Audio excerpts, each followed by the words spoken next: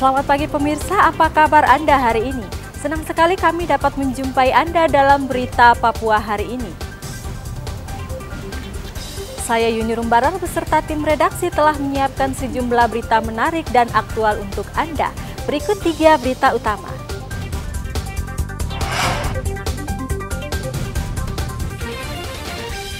Perahu yang membawa 11 penumpang di Asmat dihantam gelombang tinggi. Tiga penumpang hilang.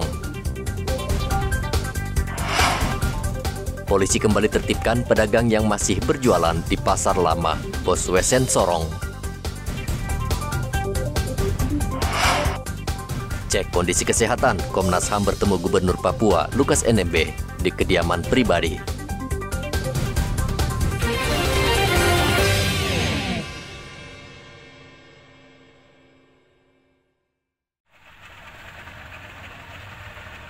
Perahu yang membawa 11 penumpang dari Kampung Atsi dengan tujuan Kampung Yepu, Kabupaten Asmat, tenggelam di Muara Ayib. Perahu diduga terbalik dihantam ombak besar. Delapan orang berhasil menyelamatkan diri, sedangkan tiga orang lainnya hilang. Mereka adalah Adrianus berusia 34 tahun, Timotius 30 tahun, dan Ishak, seorang anak berusia 3 tahun. Tim SAR Pos Asmat Kamis kemarin langsung bergerak melakukan pencarian. Tim SAR berhasil menemukan Adrianus dalam keadaan sudah meninggal dunia dan langsung dievakuasi ke kampung terdekat. Operasi SAR terhadap satu buah ketinting atau longboat yang terbalik di Muara Aib, Kabupaten Asmat dengan personal board atau penumpang 11 orang, 8 orang ditemukan dalam keadaan selamat dan tiga orang dalam pencarian. Untuk operasi SAR hari ini di LKP sendiri menemukan satu korban atas nama Andrianus dan sudah dievakuasi. Korban ditemukan di sekitar LKP. Korban dievakuasi ke Aib dan selanjutnya dievakuasi ke kampung halaman korban yaitu di kampung Yefu. Dan untuk update operasi SAR besok akan operasi SAR akan dilaksanakan berdasarkan informasi terakhir kapal terbalik dan juga laporan dari korban selamat. Tim SAR saat ini sedang mencari dua korban lain. Namun proses pencarian dihentikan dan akan dilanjutkan dengan menyisir bibir pantai dan jalur yang dilewati perahu jenis ketinting tersebut. Dari Mimika, Papua, Igobat Momolin melaporkan.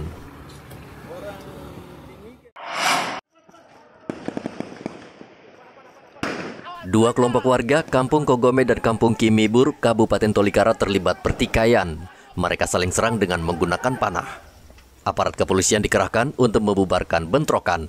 Tembakan peringatan dilepaskan berkali-kali agar masa membubarkan diri.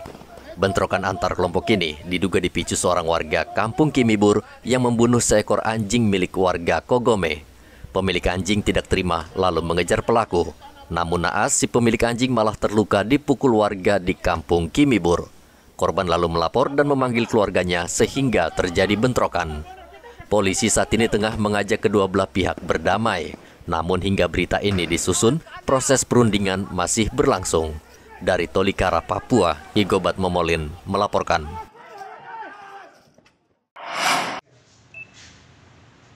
Toko emas di kawasan Jalan TMP Polder Merauke, Kamis kemarin dibobol maling. Pelaku berhasil menggondol emas dan perhiasan senilai 200 juta rupiah. Pemilik toko mengatakan saat membuka toko sekitar pukul 9 pagi, ruang sudah dalam keadaan berantakan, sementara kunci masih terpasang di pintu dan belum dicabut. Waktu itu jam setengah sembilan saya datang, Hmm. terus tiba-tiba eh, apa ruangan ini sudah berantakan, Hmm. kayak ini apa laci-laci sudah pada terbuka Hmm. semua, barang-barang pada keluar semua. Terus saya lihat di situ ada bolong. Hmm. Sudah dari situ saya eh, ke belakang manggil mamanya yang punya toh karena Hmm. sedang masak di situ. Terus saya ke sini di sini dilihat ternyata memang ada orang masuk. Lalu kita langsung lihat ke CCTV. Hmm. CCTV pas jam 4, 4 lebih ya seteng- sekitar setengah lima pagi kayak gitu Hmm. kejadiannya orang ada masuk dari situ turun terus ya ke sini ambil kayak gitu Berapa orang, Ci? satu Satu orang. Terus memang ini lemari-lemari ini tidak pada dikunci apa?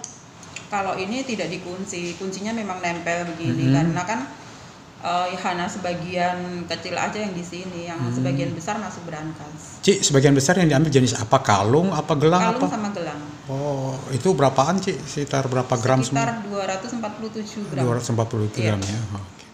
Polisi menduga pelaku masuk dengan cara menggunting seng lalu menjebol plafon dan turun ke toko. Diperkirakan jumlah pelaku lebih dari satu orang. Pencurian ini diduga ya dilakukan oleh orang yang sampai saat ini kita masih lidik, belum mengetahui pelakunya. Uh, kemudian yang bersangkutan itu masuk ke dalam toko melalui atap bangunan ya membobol seng yang ada kemudian masuk dan membobol lagi plafon plafon toko itu kemudian turun dan masuk ke dalam. Nah, setelah itu yang bersangkutan mengambil beberapa jenis perhiasan yang menurut pelapor itu ada beberapa kalung yang hilang juga gelang. Nah, yang di antaranya kalung ini banyak yang uh, beratnya agak lumayan sehingga uh, korban mengalami kerugian yang cukup besar. Yang sesuai laporan korban itu uh, kerugian sekitar 233 juta. Polisi saat ini masih mengembangkan kasus ini. Muhammad Ridwan melaporkan dari Merauke, Papua.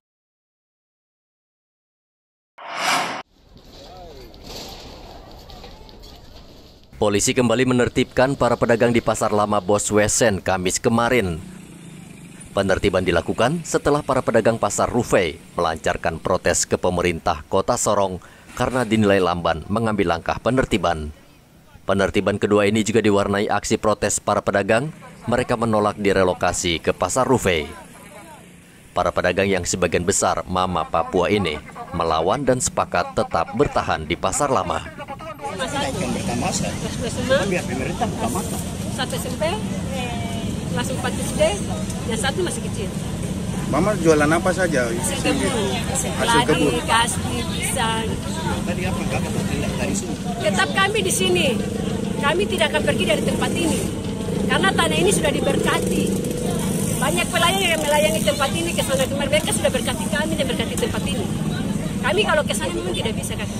Kenapa alasannya? Apa? Kami tidak mau karena di sana tempat tidak tidak aman. Karena makanya saya lebih tahu. Keamanan ya dari ya, keamanan. Keamanan memang tidak jamin. Penertiban berjalan lancar, tidak ada lagi pedagang yang menggelar dagangan di Pasar Lama Boswesen. Pasar ini nantinya akan dijadikan taman kota. Sebelumnya, para pedagang di pasar modern memprotes Pemkot karena banyak pedagang masih menggelar dagangan mereka di pasar lama, sehingga pengunjung kurang berminat berbelanja di pasar modern. Topan melaporkan dari kota Sorong, Papua Barat.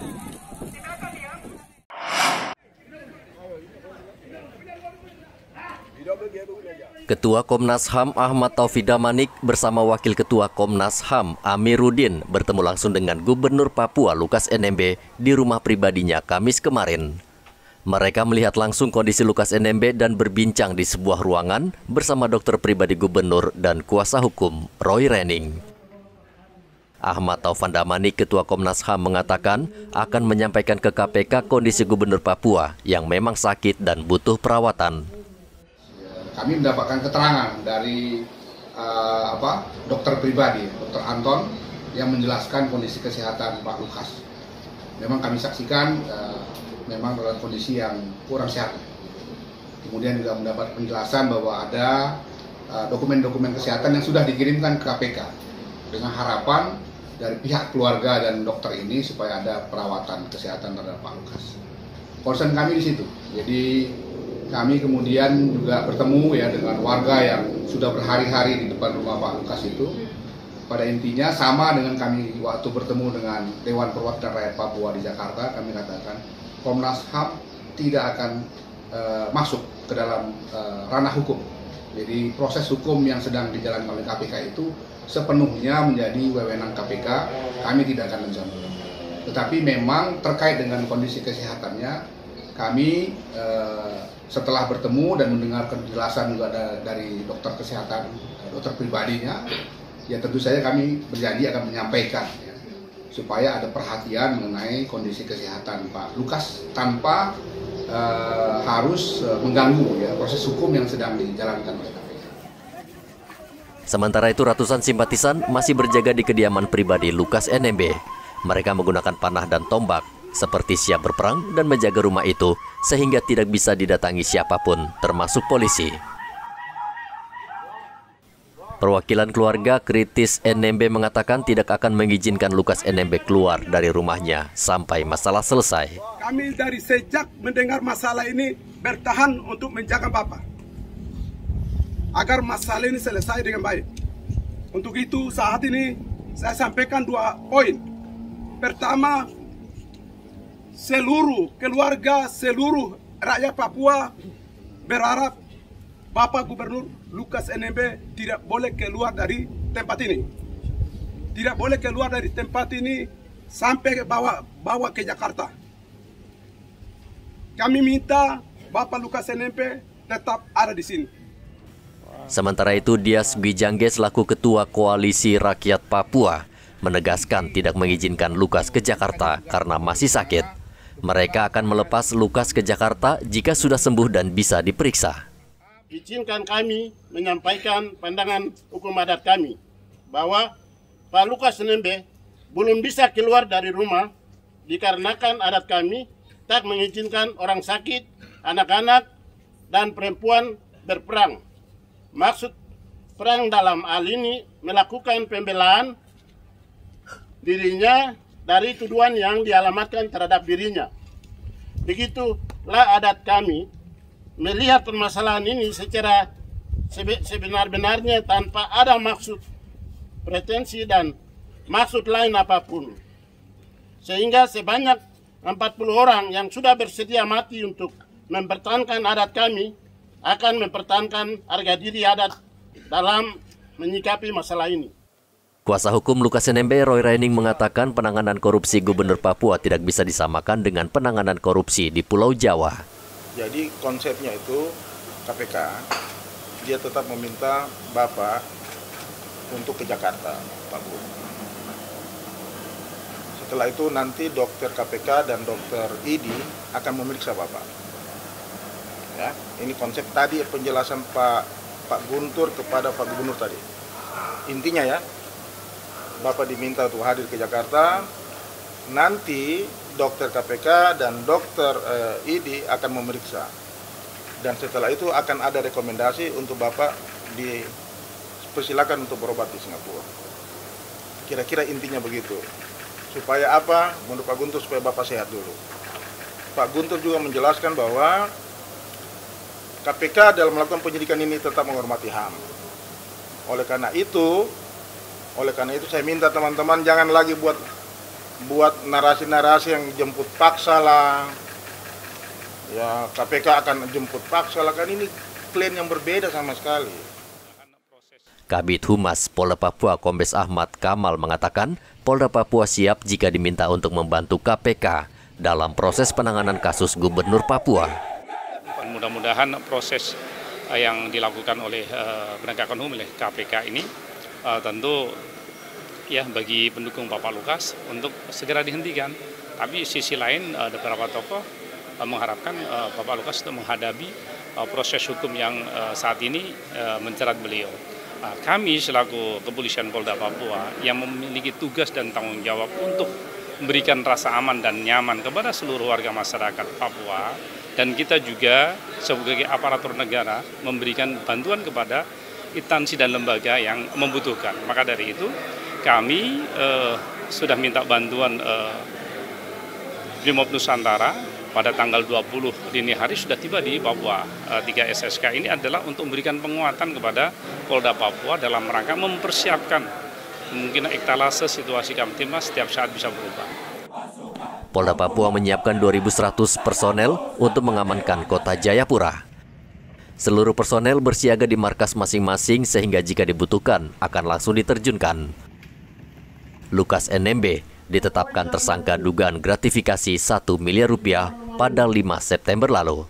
KPK telah dua kali melayangkan panggilan, namun Lukas tidak datang karena masih sakit. Rian Tonai melaporkan dari kota Jayapura, Papua.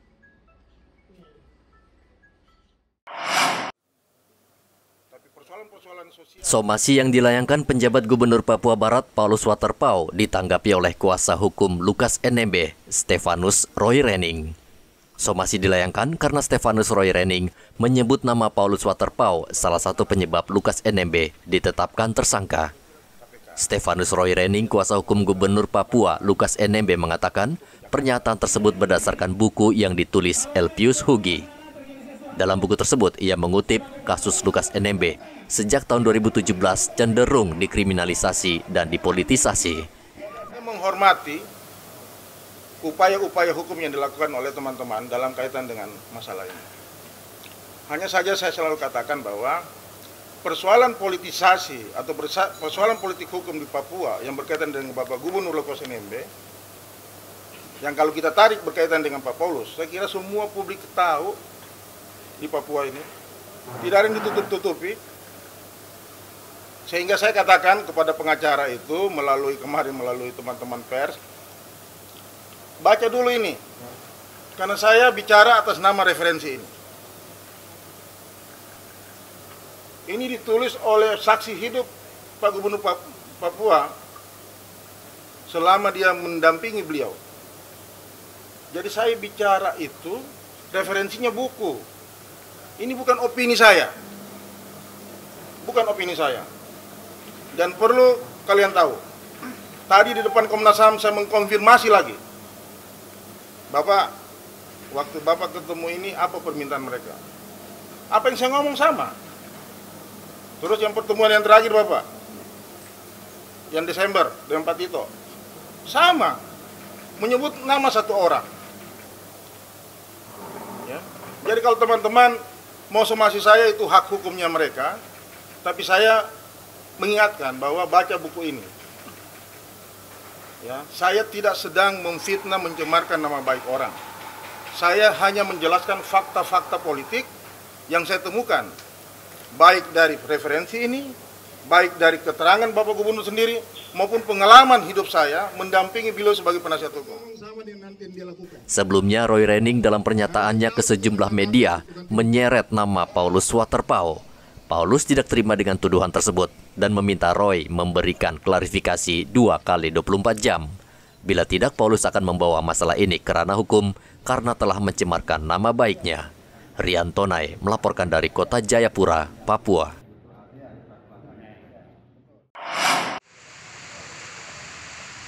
Pemerintah Kota Merauke mewajibkan seluruh pedagang di pasar untuk membayar denda bagi yang belum membayar. Stiker retribusi tersebut ditempel petugas Pemkap di seluruh sudut pasar. Pedagang yang baru saja membuka lapak terkejut dengan pengumuman ini. Mereka berharap Pemda memberikan keringanan karena para pedagang di pasar masih kesulitan meraup keuntungan akibat pasar yang sepi terimbas COVID-19. Bahkan banyak pedagang terpaksa menutup kios karena tidak ada pembeli. Sebagai pemakai kios ya memang wajib bayar. Cuma kan ada beberapa tanggapan dari bupati untuk keringanan nah, dalam hal mungkin masalah denda-dendanya itu tidak tidak dibayarkan hanya yang pokoknya saja. Hmm. Tapi kalau setelah ada istilah pemutihan eh, dendanya dan kemudian masih ada eh, tagihan denda itu memang agak memberatkan dalam kalau situasi yang boleh dikata selama hampir dua tahun itu kan tunggakan banyak waktu COVID adanya ya? corona hmm. ya seperti begitu jadi apa harapan anda sebagai pedagang di pasar ini kalau harapan saya itu yang kalau secara pribadi ya kalau untuk pembayarannya memang wajib bayar cuma yang untuk masalah denda-dendanya yang kalau bisa dihapuskan ada keringanan ya ya ada keringanan kalau masalah dendanya yang penting yang pokoknya saja yang istilahnya 37.000 per meter hmm. persegi itu saja yang dibayarkan itu mungkin ada keringanannya di situ oh, gitu. tapi kalau dengan denda kena hitungan saya kalau denda yang lama itu sekitar 200.000 per bulan per kurang bulan, ya? lebih ya? Itu kurang lebih per bulan 200 bulan ribu ya. untuk yang lama-lama gitu kalau itu yang dihilangkan yang pokoknya saja tanpa denda mungkin di situ saya rasa bisa pedagang bisa mengusahakan untuk membayarnya Baik. karena memang itu kewajiban, kewajiban karena memang tempat kita pakai Sebagian besar pedagang berharap Pemda juga menghapus denda tahun 2020 dan 2021. Mereka menilai denda tersebut sangat tinggi dan memberatkan. Muhammad Ridwan melaporkan dari Merauke, Papua. Informasi tadi sekaligus menutup jumpa kita dalam berita Papua hari ini. Saya Yuni Rumbarar dan tim redaksi yang bertugas mengucapkan terima kasih atas kebersamaan Anda. Selamat pagi dan sampai jumpa. Wanyambe.